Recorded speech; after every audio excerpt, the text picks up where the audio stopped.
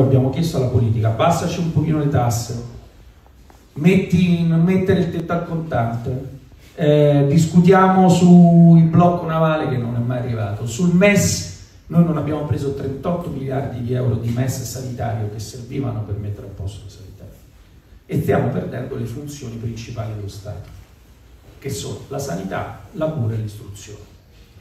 Dunque, perché abbiamo appoggiato da Alessio D'Amato? Perché ha fatto una buona campagna vaccinale.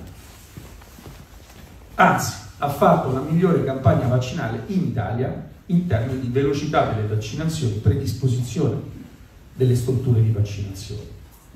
E guardate, questo è un paese che da 30 anni discute esclusivamente se uno è di destra o di sinistra e da 30 anni declina costantemente perché perché il nostro problema è il rumore di quello che uno si dice, persino sulla cattura di Messina Denaro riusciamo a discutere, ma l'incapacità di realizzare.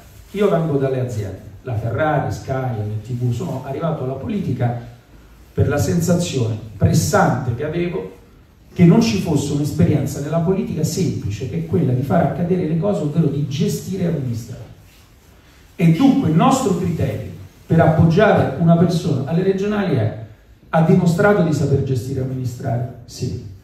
È una persona per bene onesta? Sì.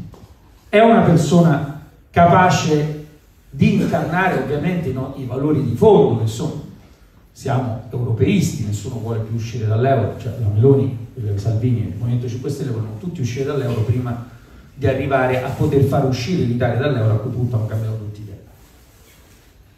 è una persona democratica nel senso moderno del termine, fine, a me interessa se è bravo o no.